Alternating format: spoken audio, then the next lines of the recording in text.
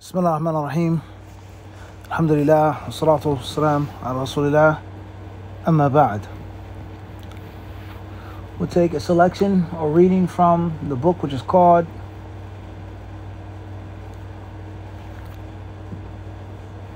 أحكام الطلاق في الشريعة الإسلامية أو في الشريعة الإسلامية Rulings of divorce in the Sharia, in the Islamic legislature, the Islamic code of law. And this book is authored by Sheikh Mustafa ibn al-Adawi. And obviously he has a five volume book in which he discusses uh, many issues pertaining to women. Al-Jami' li-Ahkam al-Nisa. And of course, uh, in that collection there is a volume devoted, there's a section devoted to the rulings of at-talaq. And this here is a, a portion from that and a selection from that. So on page 10, he says, Al-adillatu ala talaq. The proofs and evidences from Quran and Sunnah stating the legality, the permissibility that is from the deen, is from the Sharia. It isn't foreign, it isn't alien. It is a part of the Sharia to make to conduct, to request, to grant, to go through talaq. All right? And of course, he quotes ayats from the Quran, and then he quotes ahadith of the Prophet, والسلام, and he also uh, afterwards uh, explains some technical issues with regards to that. What, what's important is, is that talaq is not absolutely unlawful, it is not forbidden, rather, it is a part of the deen clear. Now, the discussion with regards to the hadith that states, halali ilallahi the most hated lawful thing to Allah is divorce. The narration of Abdullah bin Umar and Sunan Abi Dawud, the author he discusses that hadith at length. Uh, and he concludes that that hadith is weak, extremely weak, from the scientific aspect of its uh, grading in ilm hadith and that the hadith is also weak and rejected with regards to its content, its meaning, its metan. That the isnad and the metan are both munkar. They cannot be accepted, they have to be rejected. He explains that in detail. What's important is on page 13, it states, أقسام الطلاق عند أهل العلم. It says, what are the types or what are the categories of divorce according to the people of knowledge, according to the scholars of Islam, the Imma. And obviously, Alhamdulillah, if you are not married, or if you're married happily and you don't need a divorce, you don't want a divorce, you're not getting a divorce, it doesn't mean that you haven't been divorced before. It doesn't mean that you won't be tested or afflicted. It doesn't mean that you don't know someone, have a friend, a family member, and one of the most common and widespread mistakes that people make with regards to talaq is they think that just because they're happily married or they're single, it should never be studied or taught or discussed. And that's wrong. And the reason why it's wrong, before we even get into the social aspect and the need, etc., is that divorce is a section and a type and a portion of studying, learning, teaching, and reflecting on the Quran. أفلا يتدبرون القرآن Allah asks us the question, why don't they reflect on the Quran? So if a person wasn't married at all, if a person was too young, too old, whatever, I'm not married, it makes sense, it's a benefit, it's ibadah for me to study talaq. Let alone people's needs, the help that the people need. There's so many people who get married, so many people get divorced, people need help. Fiqh fi deen, answering questions, etc., etc., etc., etc. The differences of opinion, the different madhahib, the schools, the fatawa, etc. But if a person wanted to study talaq just to understand the 65th chapter in the Quran, that would be enough. That would be sufficient. Let alone Surah Al-Baqarah, Surah Al-Tahrim, right? Let alone Surah Al-Nisa, let alone the other ayat in the Quran al-Kareem that discuss and talk about divorce and its types and its rulings and its ramifications. So let ignorance die and let knowledge live. Khairan inshallah. Here on page 13, the author is discussing the reality that divorce doesn't have one ruling. And it's wrong, it's incorrect, it's non scientific, unscientific to give divorce one ruling, and that's it, to broad brush it. And he said this is according to Ahlul Ilm, the people of knowledge. So therefore, there are times in which divorce is like this, and there are times in which it's like that, depending on the situation and the circumstance. Sheikh Mustafa al-Adawi, he says, قال الحافظ في الفتح He says that Hafiz bin Hajar, rahimahullah, he says in Fath al-Bari, page 346 of the ninth volume, ثم الطلاق قد يكون حراما أو مكروها أو واجبا أو مندوبا أو جائزا. He says, and furthermore, divorce could be unlawful. Divorce could be disliked. Divorce could be mandatory. Divorce could be recommended and or divorce could be jaiz, unprescribed, lawful. It's not recommended, it's not disliked, it's not frowned upon. Do it if you want, don't do it if you don't want. I.e., depending on the situation, depending on the circumstance. Now, there are times which a man must divorce his wife. There's a time in which a man cannot divorce his wife. There's a time in which a woman should not ask for a divorce. There's a time when she must ask, وهكذا وهكذا.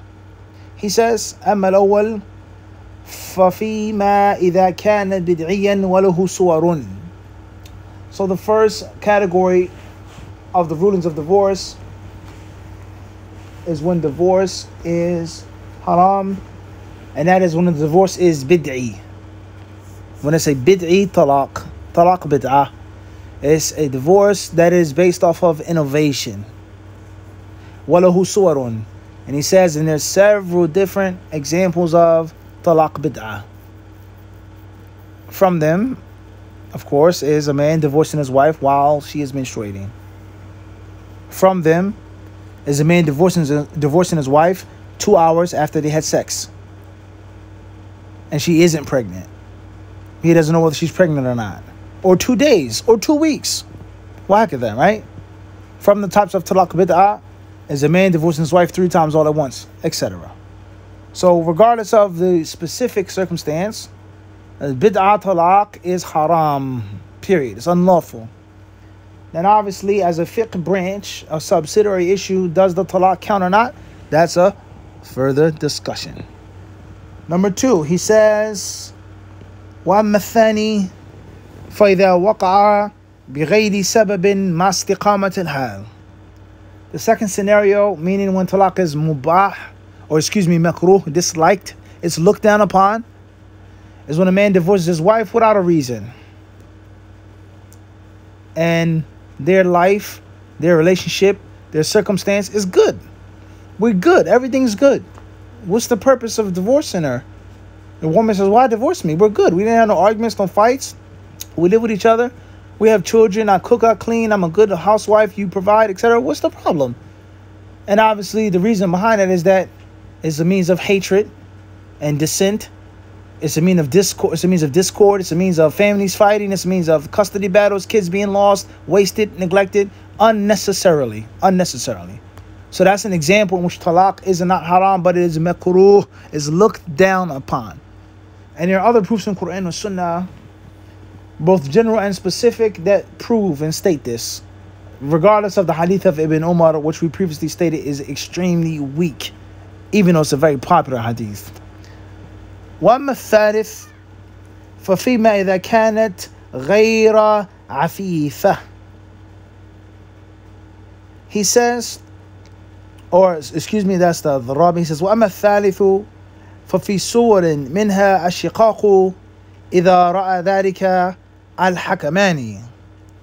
As far as the third category, the third ruling, which is when divorce is recommended, or it's wajib, he says wajib, it's mandatory. First is haram, second is makruh, third is wajib. He says is when they have discord, they're fighting, they have problems, they have arguments, and the two arbitrators conclude, the two arbitrators agree, the divorce should be, you know, done away with. Khalas. They, they both need to separate and walk separate ways The arbitrator from her family and the arbitrator from his family, they both agree after listening and investigating and sitting down. Khalas. Let's just put this marriage out of its misery. Then it is recommended mendub. He says, or excuse me, wajib, afwan. He says it's wajib for them to have talaq at that point. وأما الرابع ففيما إذا كانت غير عفيفة As far as the fourth, meaning when it's mendub, when it's recommended, then that is when the woman is unchaste. The woman is unchaste. Now, many people may be shocked. Isn't that obligatory to divorce her? He says, recommended, mendub, prescribed, or um, preferred, afwan, preferred. She has a problem. She's a little loose. It doesn't state that he has to divorce her, but he should. And that's for obvious reasons, right? For obvious reasons. وأما الخامس فنفاه النووي وصوره غيره بما إذا كان لا يريدها ولا تطيب نفسه أن يتحمل مؤنتها من غير حصول غرض الاستمتاع as far as the fifth type of the fifth the fifth ruling when it's jaiz it's lawful unprescribed then some scholars such as An-Nawawi said that that doesn't exist. There's no time in which divorce is just lawful to do. And there are other scholars who have affirmed it that talaq can be jaiz and that is when uh, from those examples is when the man doesn't want the woman. He doesn't feel comfortable with the woman He's not feeling her, quote unquote, as we would say. And on top of that, he has to provide for her, take care of her, and he isn't getting anything out of the marriage. He's not enjoying himself with this woman and her company as her husband. It's it's it's not doing anything for me. So if you want to keep her, you can keep her. If you want to let her go, you let her go. He says that's jaiz. That's an example of being jaiz. Moving forward, الشيخ مصطفى العدوي he says ونحو هذا التقسيم ذكر ابن قدامة في المغني والنووي وغيرهما He says and there are other scholars who mention how the five main rulings of the deen can apply to talaq such as Ibn Qudama, An-Nawawi and others.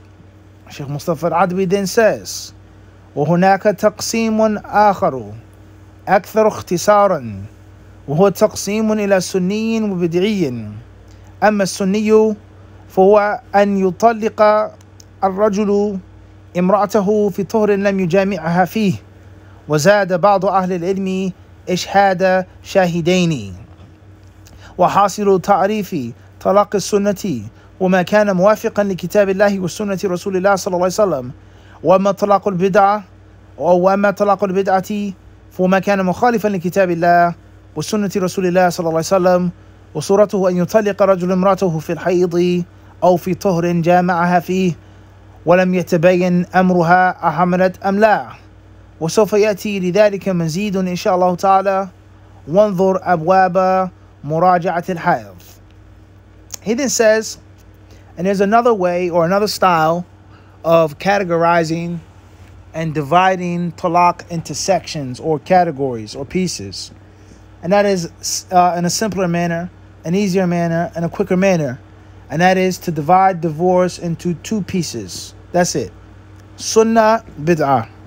Sunni bid'i. The talaq done according to the sunnah, and the talaq that is done in opposition to the sunnah. So as far as the divorce, the talaq that's done according to the sunnah, then that is for a man to divorce his wife when she's in a pure state. And what's meant by a pure state, she's offering salah. What's meant by a pure state, she's making tawaf. What's meant by a pure state, she is not menstruating. She can fast. That's what's meant by tuhur. Not that her clothes are dirty or she needs to take a shower because she was sweating or something like this. She's pure, meaning she isn't bleeding from her monthly menstrual cycle. Lem yujami'ha fi in which in which he did not have sexual intercourse with her. He did not have sexual intercourse with her. Meaning she came off of her period last Thursday. Friday came, Saturday came, it's now Sunday. Or let's say it's Saturday. He's off of work. He wants to relax. She comes and she starts telling him, Are you going to fix the kitchen sink? Are you going to uh, uh, remove the stuff from the basement and take it to the shed outside? Are you going to uh, pick up my mom and take her shopping, etc.? And he's on the sofa with the remote in his hand. He's drinking a soft drink and he's eating a sandwich. And he's trying to watch the game football, basketball, whatever. And she asks him, She said, You didn't hear me? He said, Yeah, all right, yeah, well, one second, I can't hear. And then she gets mad and she starts nagging him. Are you going to do it? And she sucks her teeth and she slams the drawer. I asked you two weeks ago. You told me the same thing. I've been waiting for you to do this. So she gets in, she gets an attitude, whatever the case may be, and he gets mad. He gets irate, right? And he says, "You know what? I divorce you. You're talaq." So it's Saturday. She came off her menstruation Thursday. Thursday night, he did not have intercourse with her. She came off her menses late at night. He came home from work. He was tired. He left the next morning. He went to work. He got off early for Juma. He came home. She was asleep. He didn't sleep with her on Friday, day or night. Saturday morning came. He woke up. He didn't touch her. It's Saturday afternoon. He's watching sports.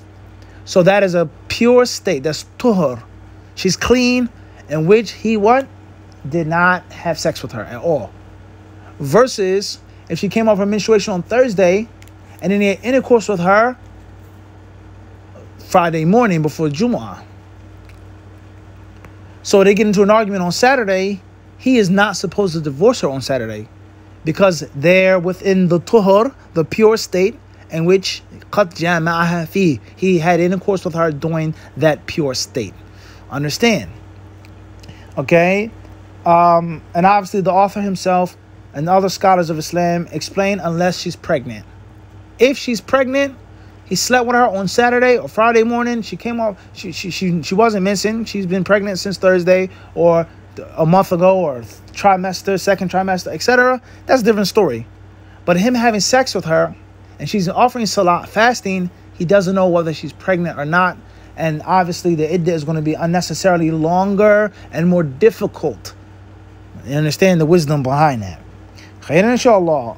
The author says, and other scholars, they add that the talaq sunnah as well is for him to bring forth two witnesses.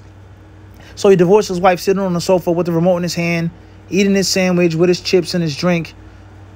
And khalas, she got mad. Well, I don't want to be your wife anyway. She slammed the door or she went crying, whatever happened. Al muhim. And all day, Saturday, Sunday, Monday, he never called anyone. He never brought anyone to be his witness to bear witness that he divorced his wife. That isn't the sunnah. So the sunnah, if, if and when he divorces her, he didn't sleep with her, she's pure or she's pregnant, and he makes two just witnesses bear witness that I've divorced my wife. Understood? Also, the author doesn't mention here from the talaq of the sunnah is that the man should not be angry and he should not be impulsive. He should not divorce his wife in a state of anger and impulsiveness. It should be clear, level-headed decision. Of course, everyone is going to be angry. Every man gets angry. Most people that get divorced because they're angry, they're in an argument, the heat of the moment. But it shouldn't be a thing in which he's just talking out of rage and impulse, in which he's going to regret it later on. Also, the author did not mention that the talaq should be done one time. It should not be two talaqs, three talaqs at once, just once. So that's the talaq of the sunnah. All right? Khairin, inshallah ta'ala. In brief, he says the talaq of bid'ah is the opposite of the sunnah. You ask yourself the question, test yourself out. Will be a scenario of talaq bid'ah? Him having intercourse with her on Friday. She came over miss on Thursday. He divorced her on Saturday. Sahih? Him divorcing his wife without having two witnesses. Him divorcing his wife, saying talaq three times or two times, etc. Nam? وهكذا خير inshallah what's important is in any matter it's very important to be fundamentally sound especially in this matter which is a dangerous matter kids family members, mahrams. There are many rulings that pertain to divorce. Extremely important. Inheritance, extremely important. Family splitting up, etc. It's very important to be fundamentally sound in this, let alone having the ability to build upon the fundamental principles and the basics, the rudiments, the ABCs. We ask Allah to give us fiqh fi. Walhamdulillahi Rabbil Alameen.